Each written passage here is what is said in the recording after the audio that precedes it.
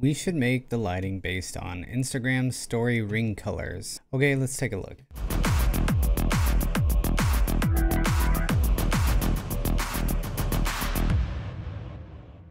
So I've jumped onto my Instagram real quick and as you can see above these stories or at least around these stories you can see there is a colored gradient that goes around them. It's like yellow, orange, some pink and purple. That is what we're going to be making a keyboard lighting design about. Let's hop into the Razer Synapse Studio and see what we can do. So I've just created a brand new studio profile and this is what you see. So the Instagram ring is a color gradient and the best way to do gradients inside of Razer Synapse is to use a wave layer. When you create a brand new profile, we're gonna change the spectrum cycling layer. We're gonna click these three dots and we're gonna change that to a wave layer. Now the very first thing I'm gonna do is I'm just going to double click on any of the lighting zones, which is gonna select everything everything and I'm going to delete all of the effects off of all of my devices. And then I'm only going to select just my keyboard. We're going to click on the color gradient up here at the top and we can choose just a rainbow pattern right now. We'll adjust this a little bit later.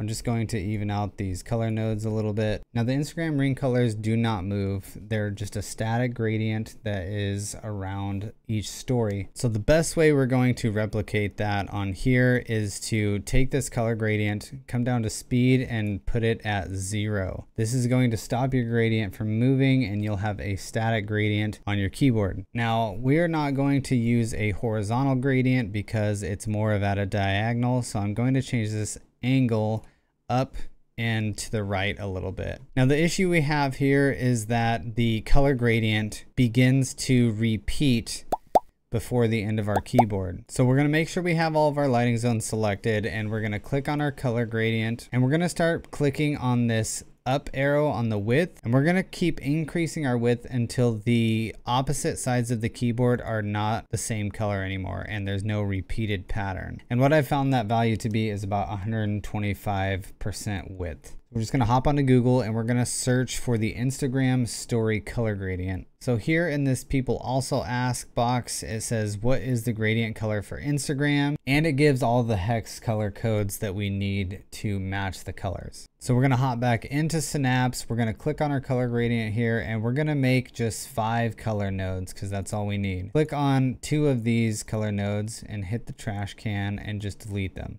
Okay, so to get rid of the blue color spilling over from one edge of the keyboard to the other, what I'm going to do is I'm going to select this light blue node and I'm going to hit the plus sign. I'm going to slide the original node over just a smidge and slide this node, this new node, in tight to it. Even though it has six nodes, this represents five different colors and I'll show you why. This node here that we just created is going to be our lower left color of our color gradient here.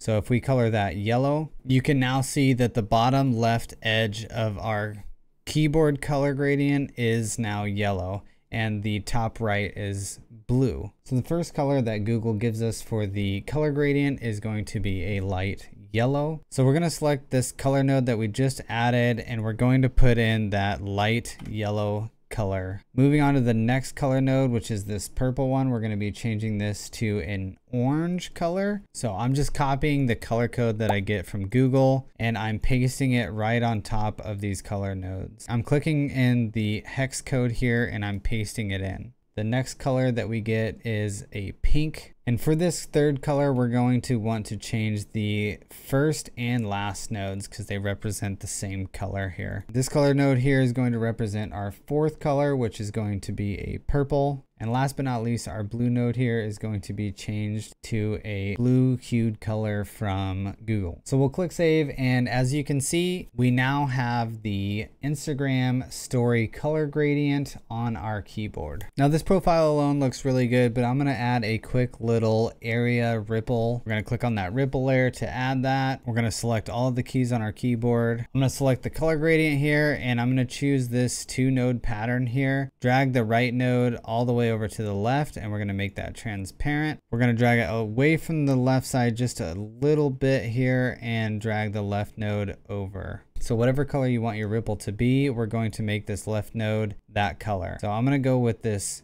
purple color and looking at the studio screen, I don't really like the purple color actually. So I'm going to change it to a hue of orange that I might like.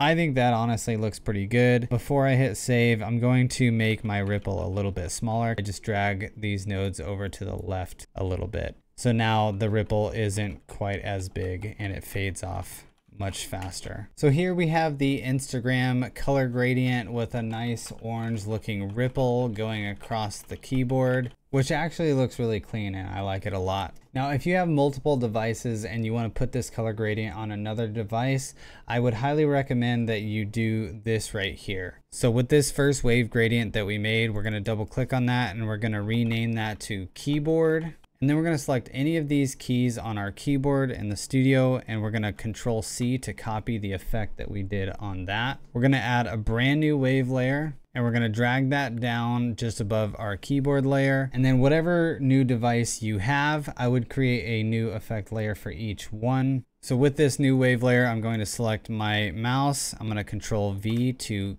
paste the effect that I have onto my mouse and it just works really, really clean that way. We can rename this one to mouse and you can continue the process for all of the devices that you have in your studio. It looks a lot better when you have an effect layer for each device. So I really hope you like this tutorial video on how to turn your keyboard lighting into Instagram story color gradient. This profile will be available for you to download on my website, unrealhero.com. And for my paid members, I will make two additional color variants that you guys can download and have on the Discord channel. Thank you so much for the idea. And if any of you guys watching this video have an idea of a design that you would like to see, please leave a comment down below. You can also go to my Discord server. I have a request channel in there and you can leave a request just like this person did. Thank you so much for watching. Hit that subscribe and I'll catch you guys in the next video.